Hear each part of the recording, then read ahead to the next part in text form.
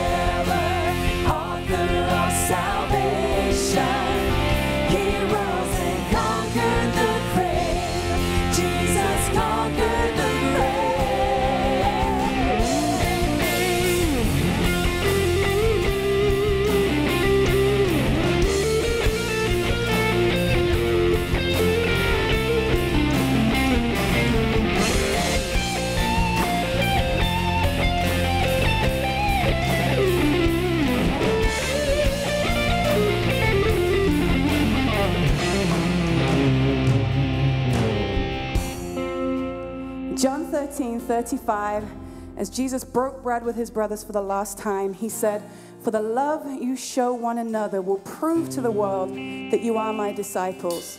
In other words, they will know we are Christians by the way we love. And yet, more accurately, oftentimes it should be, they'll know we're Christians by the way we judge. They'll know we're Christians by the way we condemn, by the way we tolerate, by the way we condescend, and even by the way we hate but not in this house, not in this church. In this church, they will say, We know they're Christians by the way they serve, by the way they honor, by the way they accept, by the way they welcome, and by the way they love, right here in this church. So we're going to sing this out. We're going to sing Shine a Light so the world can see we're singing. So here we go. Let's raise our voices up. Shine a light. Shine a light,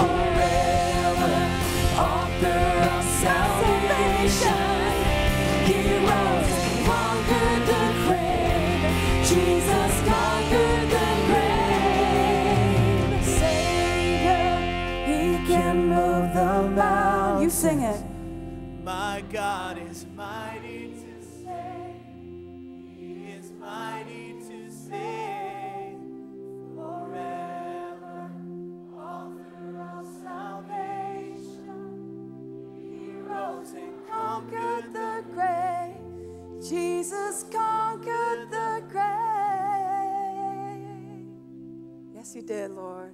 Let's pray together before we go any further. Lord, thank you so much for this day. This day is not a guarantee, it's not a given. So we thank you so much for the blessing of this very day. Thank you for bringing us together. Thank you for helping us worship our socks off. We love you so much. You are here, you are present, and you are able. You are full of grace and mercy and love and forgiveness. And for that, we absolutely adore you. So thank you, Jesus. Bless the rest of our time together. Bless our time of learning. And Lord, we love you. And everybody who agreed said, Amen. All right. Turn to someone else and say, Welcome. You are welcome in this place.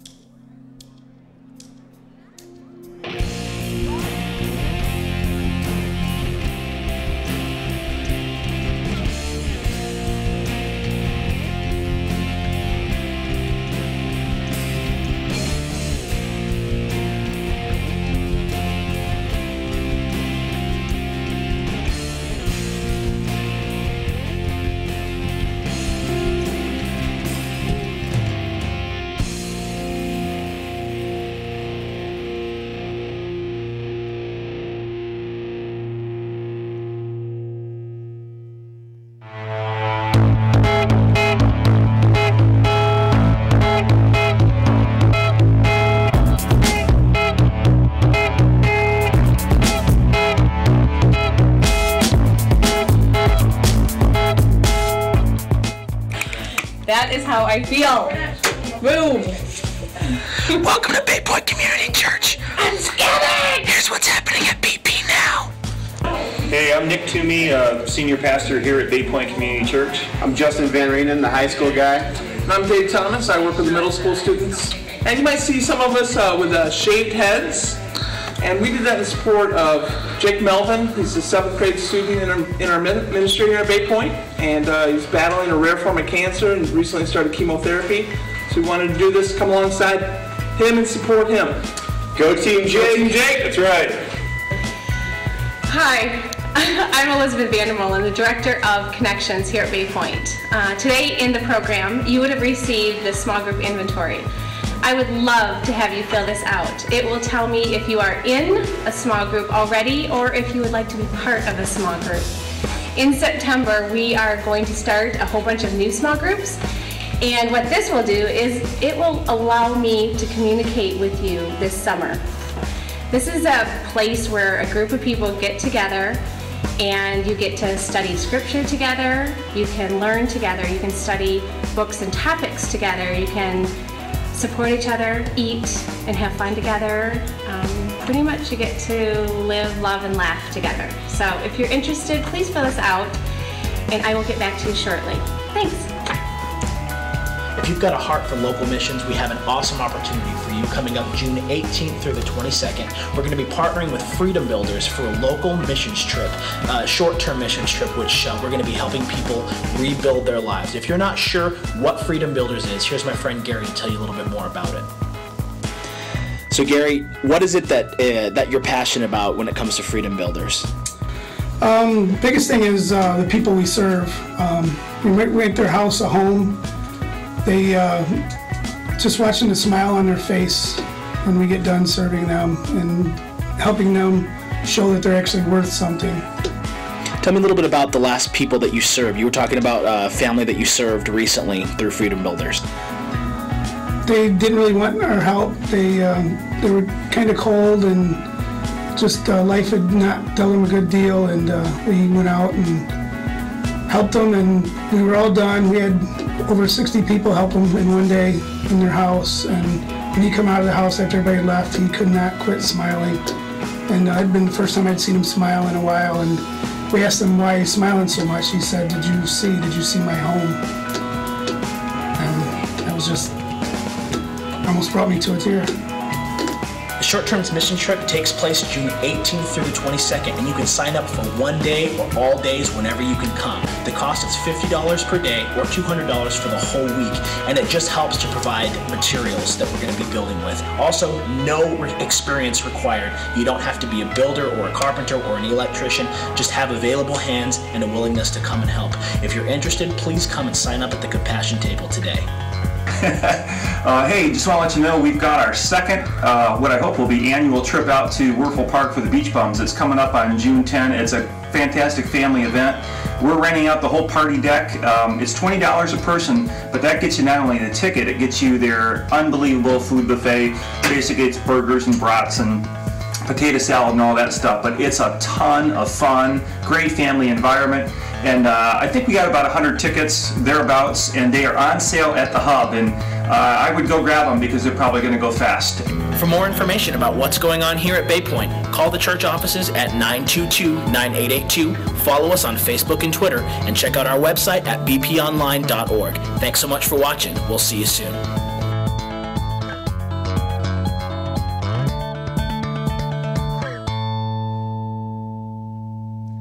Morning, everybody. So, what do you think of the new do? Huh? I, uh, I, it's really funny because I've gotten comments from, you look like Forrest Gump in, in Tom Hanks, to my daughter who just said, Dad, you just look old. to Julie Green, who was here at the early service, I'm going with Julie Green, who said I look like David Beckham. I don't really think that's true, but I'm going with it. So, you know, whatever.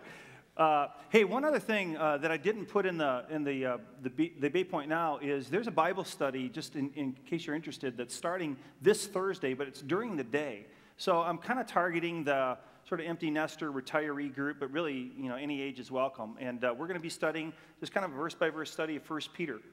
And uh, it's, so it's Thursday morning from 10 until 11:30. The Bible study itself will be 10:30 to 11:30, and 10 to 10:30 is just a gathering, hangout time. So if you want to be part of that, um, uh, go on back to the hub. I think there's a place to sign up, and uh, hopefully we'll see you then. Uh, this book here, The Hole in Our Gospel, I read this a couple years ago. It rocked my world. I'm reading it again, and it's rocking me all over again. And uh, as, you, as I'm sure you know, this is the book that was the basis for the series that we're starting today called The Hole in Our Gospel. And uh, we, we purchased um, upwards of 300 copies of this book. We've never sold that many copies of a single book ever. And we still have copies left. But I'll tell you what, uh, even to the non readers, if you're going, man, that book's more than 50 pages and there's not a lot of pictures, it's beyond me.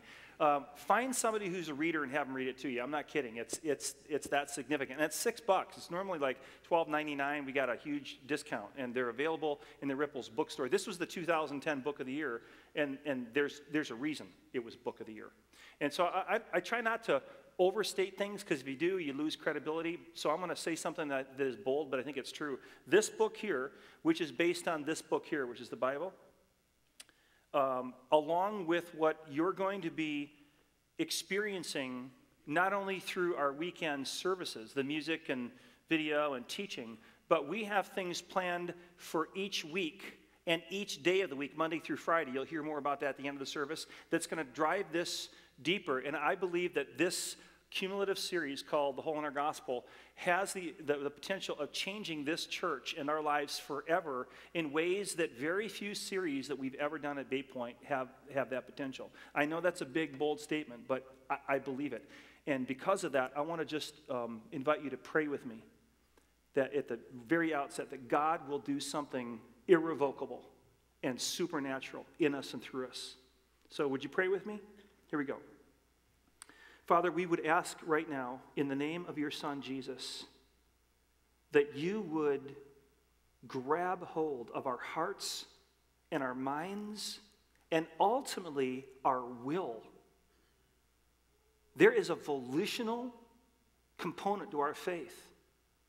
In, fact, Jesus, you kind of echoed that in the Garden of Gethsemane when you were wrestling with your, with your crucifixion and you said, Father, if there's any other way, for this cup to pass, then, then let it pass. But not my will, but your will be, be done. And so, Father, we pray together, you know, that the prayer that Jesus taught his disciples to pray, and part of that was that your kingdom would come and your will would be done on earth, just like it is in heaven.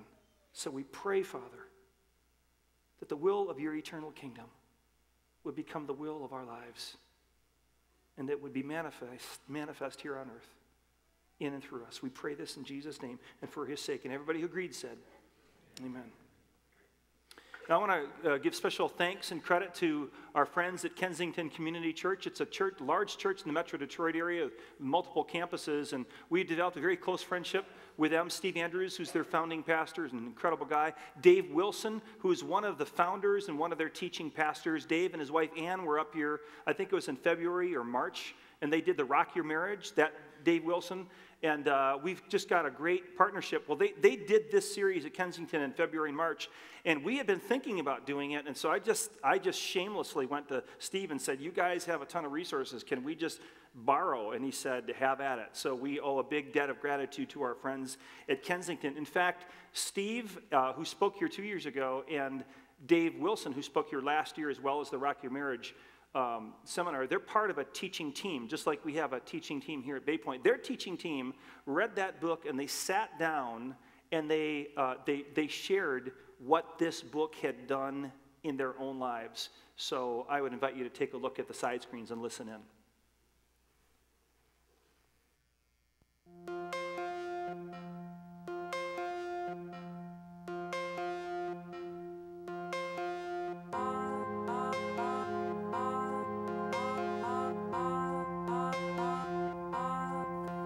Staggering to think that if you own a car, have a place to sleep tonight, that puts you in the top 2% wealthiest people in the entire world.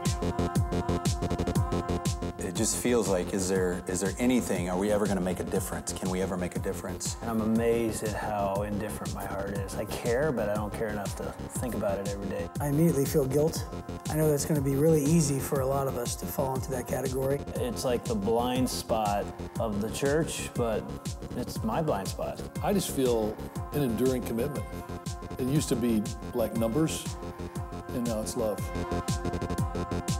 The gospel's actually great news because as evil as we are, it means God absolutely loves us. And not just us, He loves the world. And so if the world is so broken and God loves the world, what does He expect of us? He wants me to do something, not just sit there and just contemplate and just say how bad it is. What am I going to do about it? We're the ones that are supposed to be bringing healing and wholeness to this world. Something I've been haunted by for, for decades, to be honest with you, is just this idea that I'm going to get to heaven someday and realize how far I've missed it. Yeah, I've asked myself a hundred times in my life, why has God blessed me so much? And now I know the answer. So that'd be a blessing. A big piece of this is obedience, is when God starts moving, is that you just don't push it off. You don't say, I have all these excuses, but to be obedient to what God is calling you to do.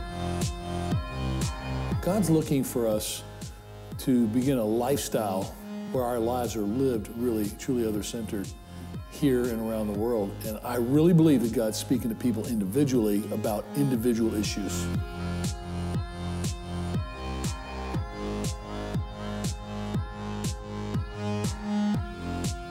In the first chapter in the hole in our gospel, a guy takes scissors to the Bible. He cuts out every verse that has to do with wealth or poverty or injustice or the oppressed. He ends up cutting out 2,000 verses of the Bible. Sort of looks like this, and I was thinking, how many of us have lived our lives as if these verses never existed?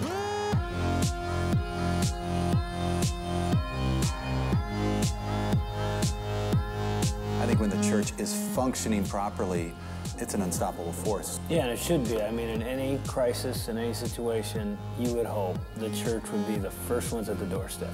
What good is it when you look at your brother and say, go and, you know, be warm and well fed and not give what is needful to the body to the stomach? What good is it? He said, that's not faith. These people around the world, people in America are tempted to look at pity on them. when we've gone and met these people, these people are not only joy, they're brilliant. Their strength, their endurance, their ability to face hardship. And if we were to mobilize them, they're going to have a greater impact on the world than we will. So I'm reading this book and I'm just confronted with God's heart for the poor and for the oppressed. And I'm thinking, man, I've been to seminary, I've read the Bible, I've taught the Bible for years. I couldn't believe it. I literally said to myself, oh crap, how could I miss the heart of God? And I think one of the questions is, as followers of Christ and as a church, are we brave enough? Are we brave enough to step into our selfishness and then give our lives away? Courage is contagious. If one man, one woman will say, I will do something, often that, that little nudge in the other person says, well, if they'll do it, maybe I can do it. We can do something about this, but will we? Will I?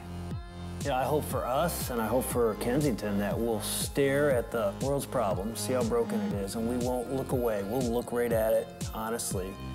Maybe some of us the first time say, wow, it's unbelievably dark. We will at the same time stare into the face of God and realize that He says, I have an answer. I am the answer, but I want to use you as the solution to take me to the world. And I hope that I and we, Kensington, would say, I am going to be brave enough to look into my own heart and confront my own selfishness and do something. And absolutely trust God to use me as His face and His hands and His feet and us to change this problem. We can do it. We can absolutely make a difference in our lifetime. So, what are we going to do? The world is watching.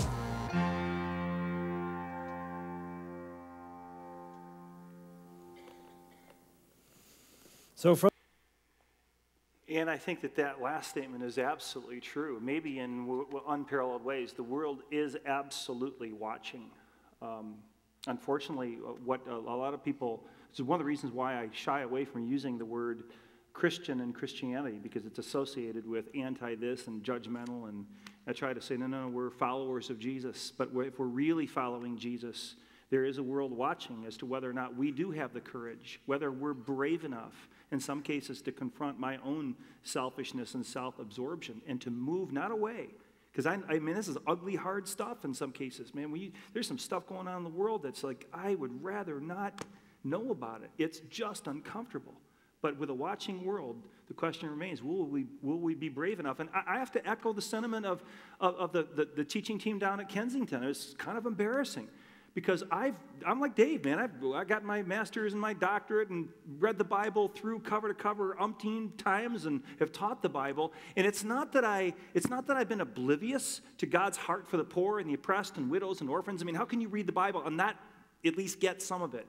But what's been a little shocking and unnerving to me is, is uh, I, I just somehow failed to, to feel the extent of God's heart for the poor. And, and- and what's occurred to me in recent years, because I've been able to travel a little bit. In fact, uh, Bill Hybels, who's the founding pastor of Willow Creek, I listened to a, a, a, a leadership um, thing that he did, and he said, if you're a senior pastor of a church, you need to do at least one international trip a year so that your heart gets wrecked.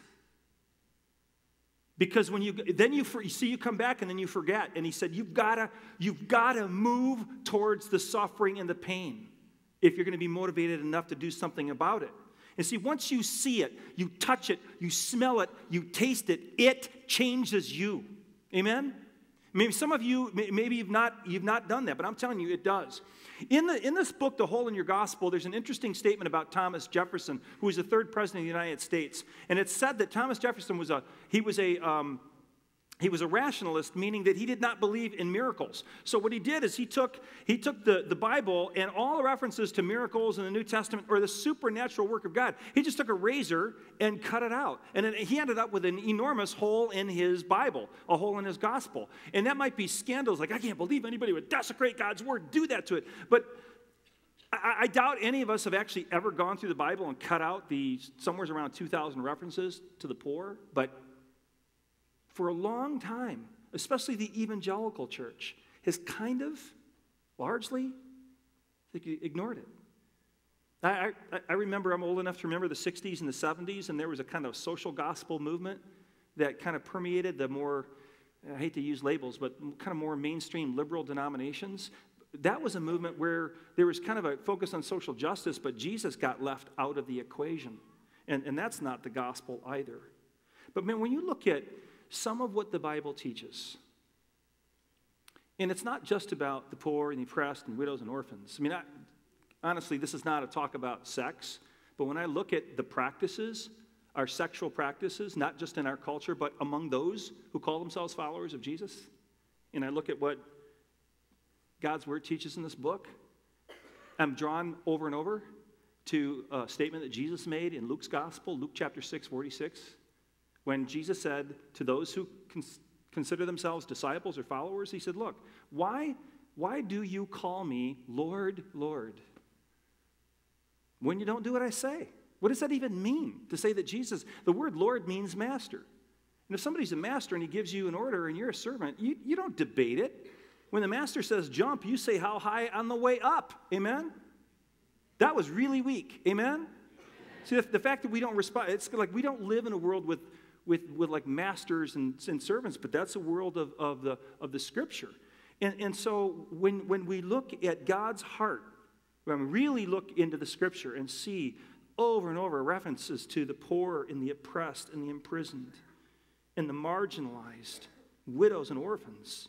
I mean, there's a sense in which I, I wonder if the Spirit of God has not been saying to the church, the evangelical church, for a long time. Why, why do you call me Lord, Lord, and completely ignore that which is so precious to my heart? And I, I think the answer is blinders. We all have them. And I think if we just acknowledge it, and, in some ways then repent and, and get on with it, will be a whole lot better. So over the next few weeks, we're going we're going to take a look at this hole in our gospel. And it's going to require of us a level of humility. It's going to require a level of courage. It's going to require of us a thirst for truth that, that causes us to, to not, not run away, but to run toward the truth. Jesus said the truth, uh, um, you will know the truth, and then he, he said you'll know the truth, and the truth will what? That's right. The truth will set you free. Somebody else, I don't know if it was in this book or I read it somewhere else, but somebody said, You'll know the truth, and the truth will make you flinch. And then it will set you free. And I think in some cases it's true. And uh, I wonder if we have the courage to flinch a little bit. I, wonder if we have enough brave hearted men and women and teenagers and children in this church to stare it down. In fact, um, one of the things that I uh, that love from this from the book The Hole in Our Gospel is a quote from the founder of World Vision. The guy who wrote the book is the current president, but not the founder of World Vision. Uh, Rich Stearns is the president. The founder was Bob Pierce. Bob Pierce coined a phrase that became a prayer.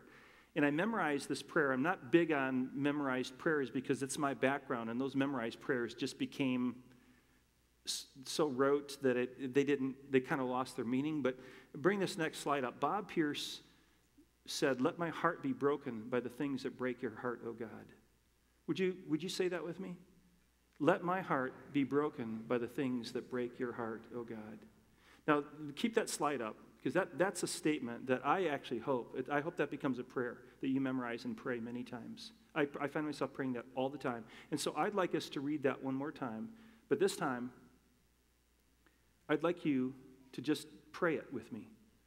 You know, whether it's deep in your heart or you're just doing it because I asked you to do it, but just let's just make this a prayer. Here we go. Let my heart be broken by the things that break your heart, oh God. And I, I hope that, man, that just gets deep, deep into the bloodstream of your life in this church. Now, we're talking about the gospel, a series called The Hole in Our Gospel. And, and the word gospel has a meaning. It means, in English, we translate it good news, but it's more than good news. It's like, you gotta be kidding me, crazy, outrageous good news. That was like not even close to how radical it is. This is, I should be doing cartwheels. Actually, I shouldn't. But you know what I'm saying? You know, like cartwheels across the stage, like, wow, like, you gotta be kidding me, confetti falling, you know, take your breath away, good news. Now, and, and now, some of you, when you hear the word gospel, you don't even know what it means. You weren't raised in the church, you don't know the language. And if, if you were not raised in the church, the word gospel is kind of fuzzy. That's like totally awesome because we started this church to reach like unchurched people, people who don't know the deal. And so I'm, really glad that you're here, that you're watching on YouTube or whatever. But for many of you, uh, you were raised in like various Protestant backgrounds Baptist, uh, Methodist, uh, Lutheran, Pentecostal, whatever. And many of us were raised with a version of the gospel that went something like this Jesus is the Son of God, the second person of the Trinity, Father, Son, and the Holy Spirit. Jesus left heaven. He arrived, took on human flesh on a day we call Christmas, lived for about 30 plus years. He did miracles. He taught things that rocked the world. He was arrested. He was crucified. And then on Easter morning, he rose from the dead. And those who are willing to place their trust in what Jesus did on the cross, where he died a substitutionary death so that our sin could be forgiven, our offense before a holy God could be wiped out, we then would receive the gift of eternal life and be with him in heaven when we die. Okay, now how many of you were raised with a background that sounded something like that? Show of hands. Some of you, okay, lots of hands going up. Now that was not my background. My background sounded something like this. Be good, or the nuns will knock the snot out of you in the name of the Holy Trinity. Amen. That, that's, just, that's just my background. But Richard Stearns kind of challenges the idea that the gospel is about praying the prayer and doing the deal and then getting on with your life. Because while it's true that receiving God's pardon through the substitutionary death of Jesus is the gospel, it, it is the gospel in the sense that the gospel is about the totally unearned, unmerited, radical love of God. But it's also true that the gospel that transforms us inwardly is also the gospel that must be lived outwardly. And Richard Stearns writes in The Whole of the Gospel, he says, More and more, our view of the gospel has been narrowed to a simple transaction marked by checking a box on a bingo card at some prayer breakfast or coming forward during an altar call. And I don't think he's dogging the person who's, you know, praying a prayer or, or an altar call or whatever at a prayer breakfast. I don't think that's the point. I think he would say that's a good thing. He might even say that's the first thing, but I know he would say it's not the whole thing because it falls short of a full understanding of the word gospel. Euangelion in Greek. Good news. So if you have your Bible, turn with me to Luke chapter 4. And there are Bibles provided under many of the seats. But uh, Luke is it's in the New Testament. It's the third book Matthew, Mark, Luke. Find Luke chapter 4. And while you're looking that up, a little context this is a passage that takes place in Jesus' hometown. Now, quick little Bible trivia as you're looking it up. Okay, you're leafing through Luke chapter 4. Little Bible, Bible trivia. Jesus was born in what town? Born in Bethlehem, but where was he raised? Nazareth. Very good. So this takes place in a place of worship. Now, the, the Jewish place of worship, the big temple was the temple in Jerusalem, but they had these they had these other worship centers in towns, just like we have, you know, sanctuaries or auditoriums or whatever. What was the local Jewish worship center called? It's called the synagogue, right? And their day of worship was called what? The Sabbath. Okay, good job, you guys. So we're talking now Jesus in his hometown of Nazareth. He's at the local synagogue, and it's the Sabbath. And on the Sabbath, they would take the text, the, the, uh, the Old Testament was their Bible, and um, on this particular day, they took the scroll of Isaiah. Literally, it was a scroll, and they would have unrolled it. And the text that day was Isaiah chapter 61. So in Luke chapter 4, Jesus is reading the scripture, but it's out of uh, Isaiah 61. Now, if you were a dignitary, if you were a, uh, an esteemed rabbi, and you happened to be in the the, uh, the crowd that day, they would often invite you to read the scripture. So the Bible tells us that they gave Jesus the scroll of Isaiah, and he opened it up and he read these words. This is recorded in Luke chapter 4, verses 18 and 19, but it's out of Isaiah 61. Here's what it says The Spirit of the, of some translations say of the sovereign Lord, but the Spirit of the Lord is upon me, for he has anointed me. The Greek word there is like christened uh, it, it, means to empower or to anoint, but the Spirit of the Lord is upon me, for He has anointed me to do, and there's five things here. And it's, it's not that, there are, there, that it's limited to these five, but there, there are five things that are listed here. The Spirit of the Lord has anointed me to, number one, bring good news to the poor. Secondly, He has um, sent me to proclaim the, uh, that captives will be released. Third, that the blind will see. Fourth, that the oppressed will be set free. And then finally, that the time of the Lord's favor has come. Now, when Jesus finished with that, he did something that just, well, what, what he did next was very predictable. He would have rolled up the scroll, and he would have uh, given it back to the attendant, and then he would have sat down. Okay, so he would have sat down because that's what the, that's what the teachers did. They, I usually stand, sometimes I sit, but they would have sat down.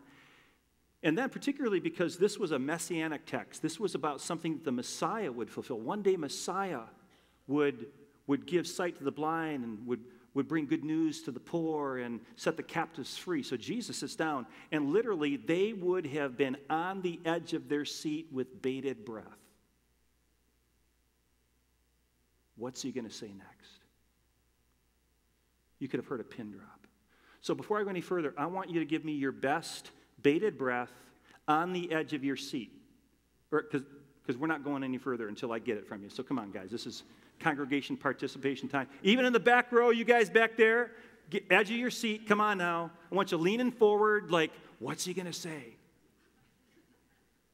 It's pretty good. good. We should get a picture of this. This is cool. All right? So then, and here's what he says. They're like, and he says, you have to remember, stay there. This prophecy of Isaiah was 700 years old. They've been waiting a long time. You think you've been waiting for your dreams to come true? 700 years. And they're leaning forward.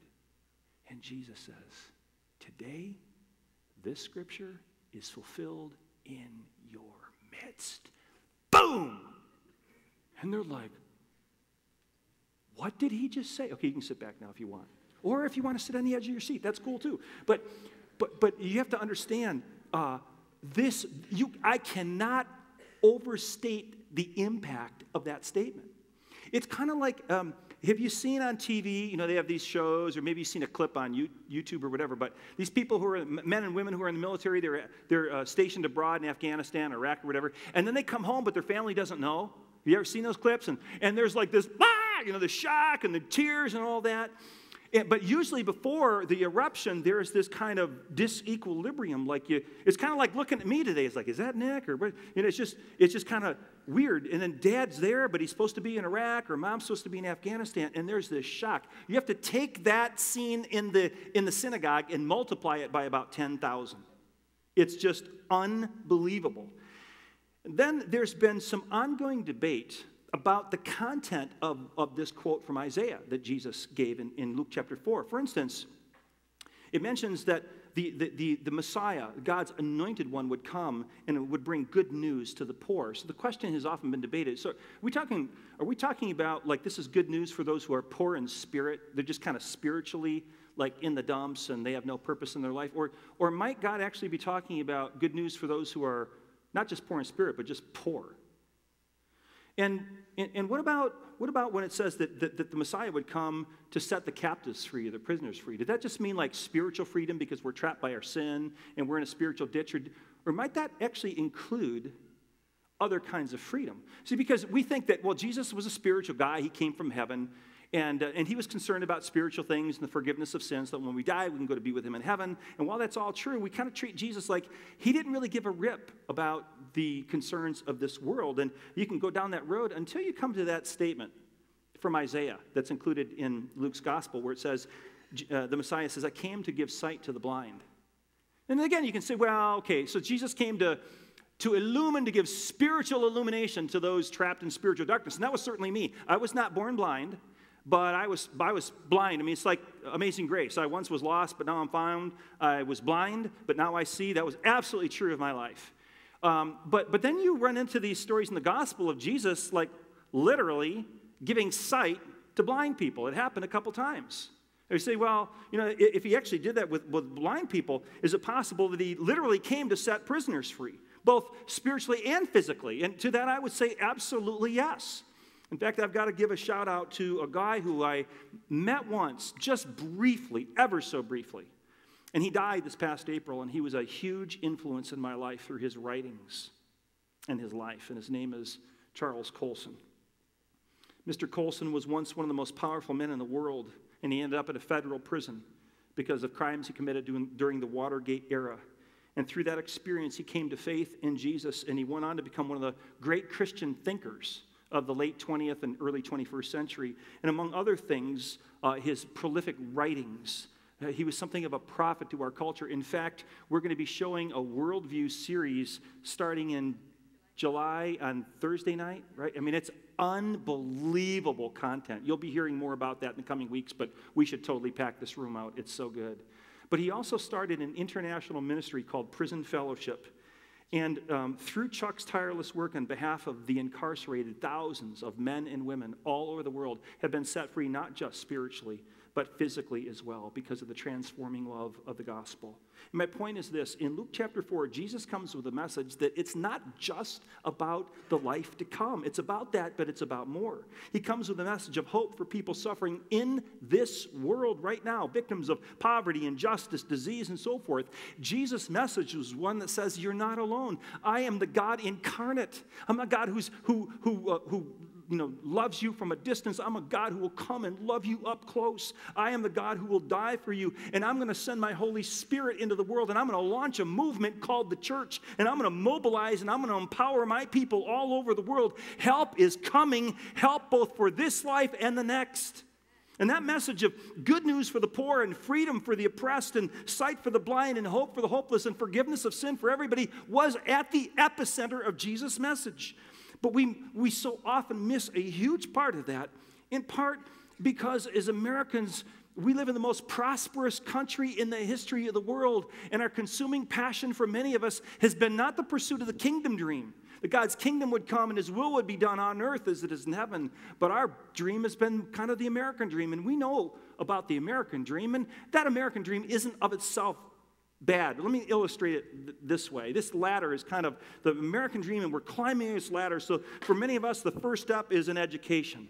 You know, and that education gets us a, a, a good job. And so, you got that graphic up there with money. And a lot of people still, a lot of college graduates, I'm told that they still think that um, when they graduate, their starting salary is going to be on average $59,000. You guys laugh at that? Yeah, probably for good reason.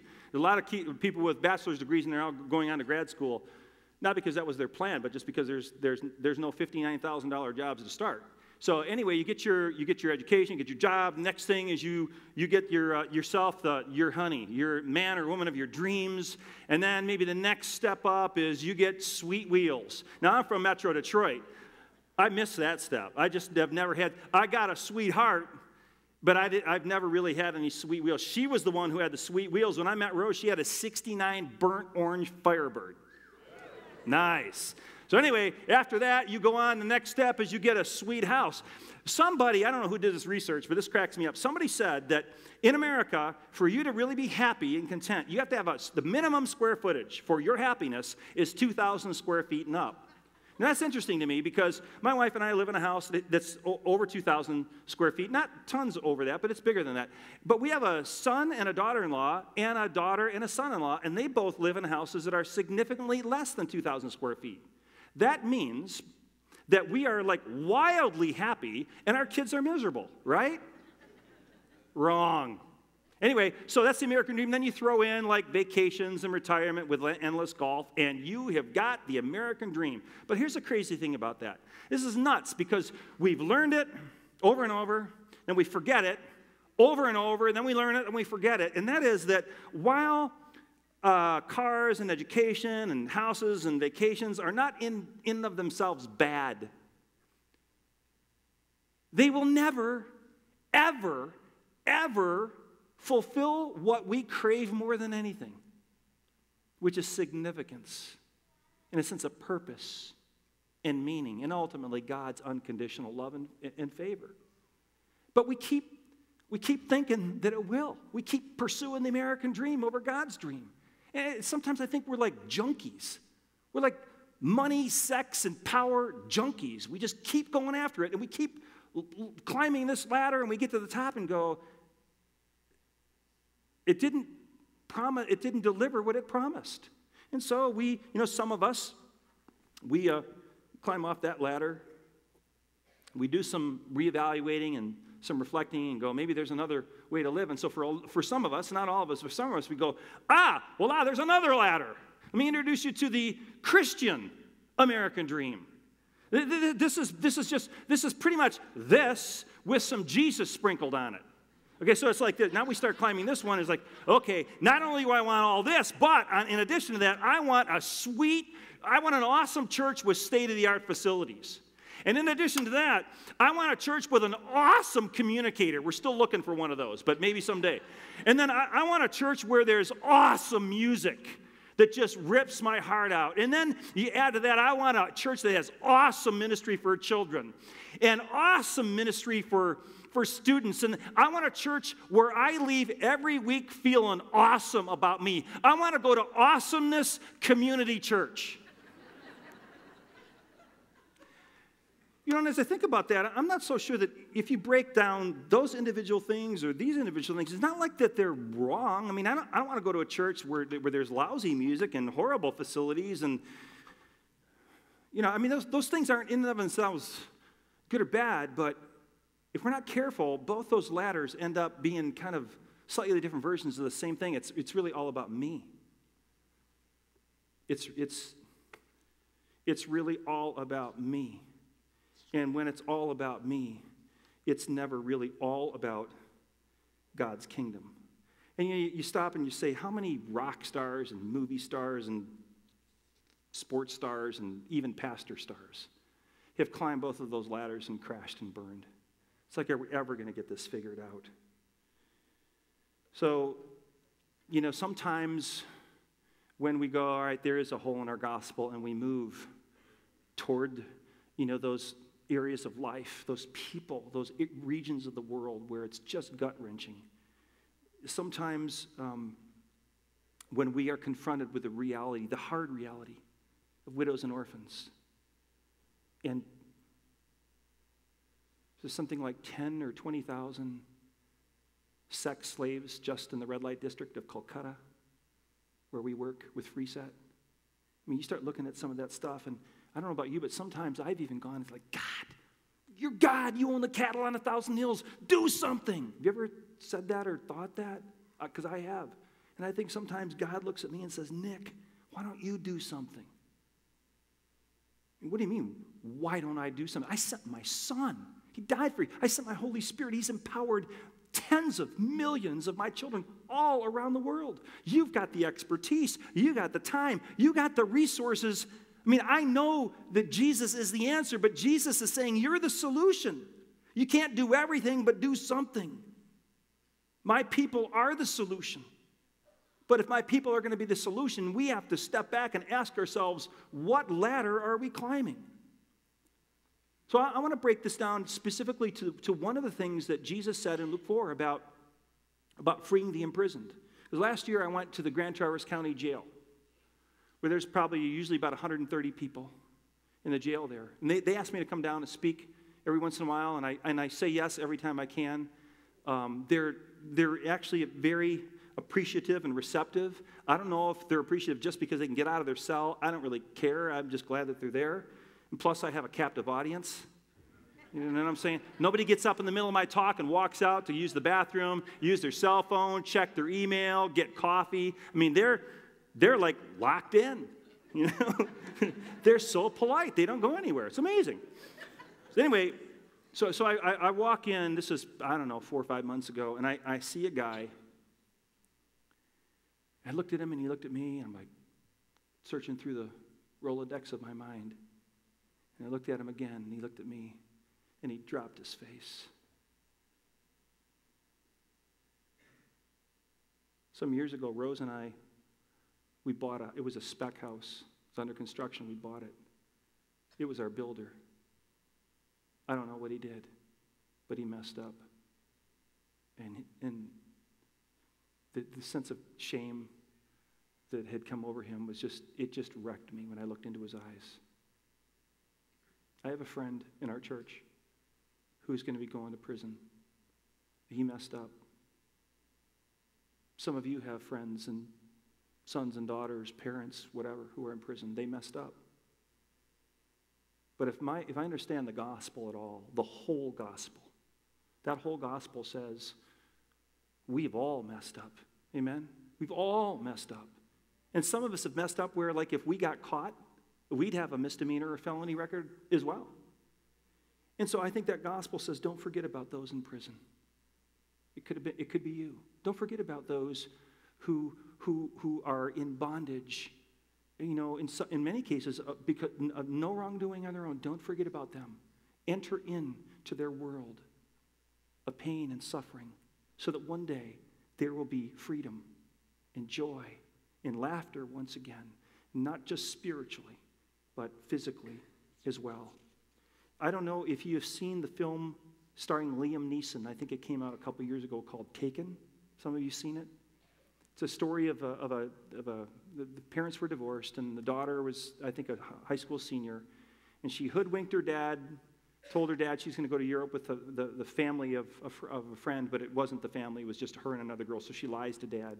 And everything inside dad's going, don't let her go, don't let her go. But the daughter and the mom gang up, and dad finally uh, lets her go. Well, no sooner does she get off the, the plane in, in Paris than some smooth talking guy schmoozes her, and she ends up um, basically being sold as a sex slave to a wealthy gentleman from the Middle East. And Liam Neeson turns out in this movie he's a retired special ops guy, so he sets out to find his daughter.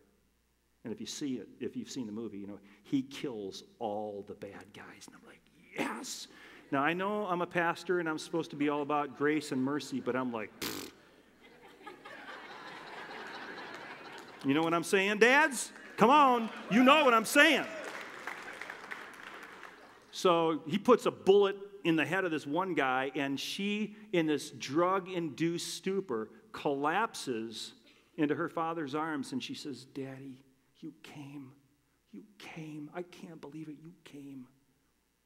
You know, and for me, uh, it, it could be a movie clip like that, or it could be a song, but there are these moments where you go, that's a gospel moment. I know we call it a secular film, but that's a gospel moment. In that moment, I went, that's it. That's what our Father did for us. In our state of lostness and brokenness and rebellion and crazy, stupid stuff we do, He came. And guess what? The extremely poor of the world, the women and children caught in sexual slavery, those who live on less than a dollar a day, the oppressed and the imprisoned, the widows and the orphans, they're asking, Is anybody coming for me? You see, when it's your daughter, when it's your child, when it's your friend who's in trouble, you drop what you're doing. You don't care what it costs, you go running because it's personal. When you hear of a child who's abducted or a child who gets cancer, it might sadden you, but it doesn't rock you. It rocks you when it's your kid, when it's your spouse, then it's personal. As a video at the beginning of the service said, I got my head shaved this week because a 13 year old young boy in this church, 13 years old, in fact, we've got a picture of him. That's Jake Melvin. He's just an awesome kid, and he was diagnosed with a form of cancer so rare that they, think there's less than 100 known cases in history ever of that kind of cancer. It's really, really serious. And you know, you hear about that and you go, man, that's a terrible. He's 13 years old. That's terrible. But I'm telling you, you might feel sad, but if you're Jake's sister, Kate, if you're Jake's mom, Linda, if you're one of Jake's friends, it wrecks you because it's personal. And what I want to communicate to us this morning, friends, is that Jesus, who doesn't just look down from heaven because he's here among us. Bible says where two or three are gathered in his name. He's among us through his Holy Spirit. But Jesus looks down on this world 15 million AIDS orphans in sub Saharan Africa and people eating dirt cookies. You got to come back next week. I'm going to introduce you to something called a dirt cookie. They eat dirt cookies in Haiti. They're that hungry. And when, you, when, we live in a world with single moms all around us hanging by a thread and children at schools like Traverse Heights that don't have a single adult to give a rip about them. And we live in a world where there's millions of people in that strata called the 1040 window who have never even heard of the name of Jesus and they're living in bondage and voodoo and superstition and gods and goddesses coming out of yin yang. And I want to tell you, for Jesus, it's, it's personal to him. And he wants it to be personal for us.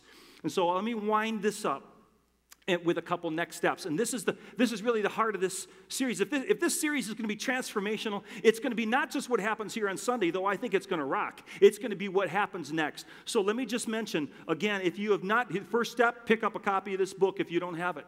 And some of you might want to join a book study that's going to be meeting uh, in the prayer room. It starts a week from this Sunday night. If you want to be part of that study, uh, just go to the to the uh, hub and, and sign up. And, and but that's the first step. Read this book and and ask God to reveal to you the blind spots in your own life. The second thing is critical, and it's this: There's going to be a weekly challenge and a daily devotional. And it's going to be sent to everybody who's part of our email. So if- we don't have your email, you've got to go to the hub and give us your email address. Because here's what's going to happen we're going to send you an email with a link to our website. And our website has a weekly challenge for each week and a, and a daily devotion. In fact, if you do not if you do not have access to the web, there are copies that look like this. It says Week One, My Blind Spot, and they're available at the hub. But don't everybody run and take them because we haven't made that many. We want to drive people to our website. That's where the communication takes place. But let me tell you what the weekly challenge is this week. You guys ready for this? Your, you are, your job this week, this is like Mission Impossible, if you're willing to accept it, is to be a blessing ninja. Okay? You know, like ninjas? that was really bad, wasn't it? My, my wife loves it when I do stupid stuff like that. She actually doesn't, but so here's the deal. Here's the, here's the challenge. I want you, at whatever level, it could be 50 cents, it could be a dollar, $5, $10, I want you to take a wad of cash. And I want you to take that same amount and put it in your pocket every day, Monday through Friday. And I want you to go out with your spiritual antennas up. Because this, if we do this, this, will rock. Because what it will do is it will cultivate an awareness of hurting people all around us. And they're not all necessarily hurting. Like, like you might, maybe you have $2 a day that you can budget, $10 for the week. And so if you're traveling, some of you drive and you're in sales and you might hit a toll booth and it's a buck or two bucks and you just pay for the person behind you. You don't know that person's hurting or not, but you just, you just be a blessing ninja. And I'm going to go over to a coffee shop that I go to quite often, and I'm going to I'm going to give them 10 bucks and say the next person who comes in. I don't know who it'll be, but some of you are going to be tailing me around. I want to come in after Nick. and, uh, and, and so, so what we want to do is just be blessing ninjas. If you have no money, maybe I don't know, bake cookies and drop it on a neighbor's front door. Don't let the dogs get at it, but just just say this is from a neighbor who's thinking about you. So what if what if it's like a whole church? Every day, Monday, Tuesday, Wednesday, Thursday, Friday, we were blessing ninjas. And then make sure you look at the daily challenges because there's some really simple, doable, cool stuff. And then the third step is, uh, was mentioned uh, earlier, is this we can, we can involve, be, engage as local missionaries right here in Traverse City through Freedom Builders. We've got a mission trip right here in Traverse City, June 18 through 22. All the information you need is at the compassion table. Go check that out. And then the last thing is, um, our, our compassion offering, which is going to be on June 24.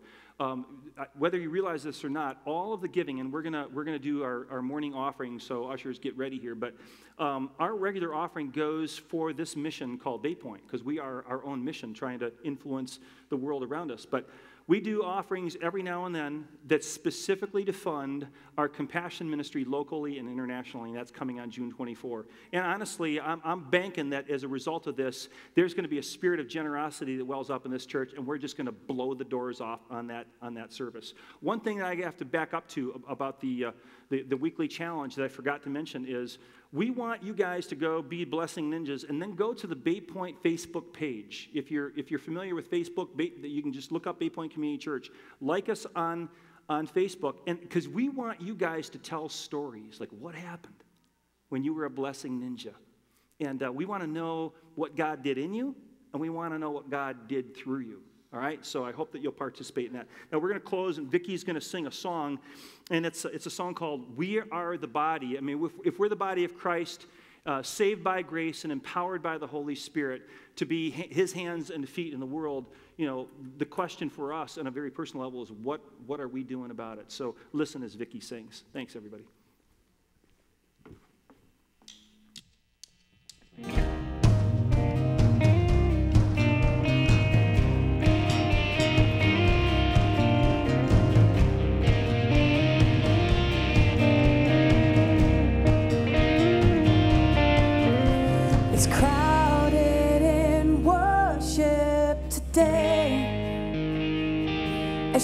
Slips in, trying to fade into the faces.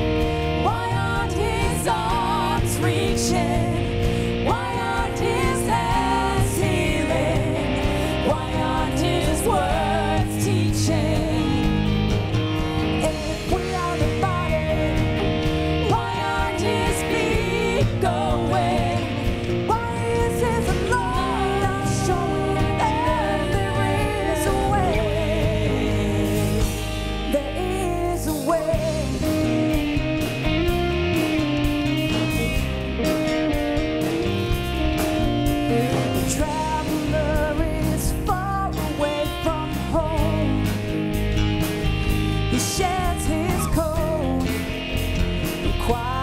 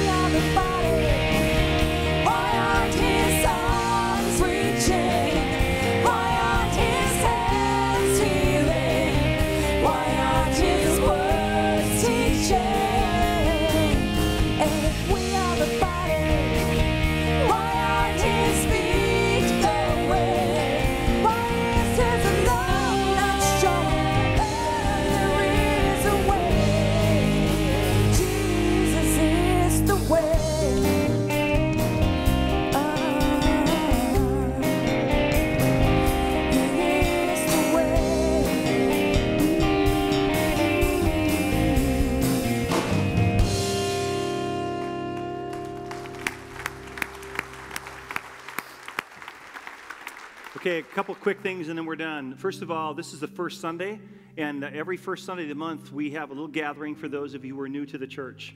We don't do anything weird. It's just like maybe five or 10 minutes. It's a chance for me to say hello and to greet you personally, maybe to fi- uh, get some information uh, about the church or questions. And that's over there in the prayer room right after the service. So if you're new, I'd love to have you stop in just for a few minutes and say hello. And then the prayer teams that are normally in that room, because every Sunday we know there are people going through stuff where they just need somebody to uh, join them in prayer. And so the prayer teams are going to be down front. So if you need prayer, come on down. And, um, and then if you're new, I would love to have you uh, step in. Now I'm going to pray um, this, this kind of closing prayer that God turns us into these crazy ninja blessers this week, all right? So here we go. God, thank you for this morning. Thank you that the gospel is not just for heaven when we die, but it's this invitation to an amazing journey of following Jesus and touching people and reaching out and being the hands and feet of Jesus. How cool is that? We get to be purveyors of your love and your grace this week. And I pray that there would be supernatural things that happen that take our breath away. So we pray to that end that your kingdom would come and your will would be done on earth as it is in heaven. Break our hearts, oh God, over the things that break your heart. We pray this in Jesus' name. And everybody who agreed said, Amen. All right, God bless you guys. Thanks for coming.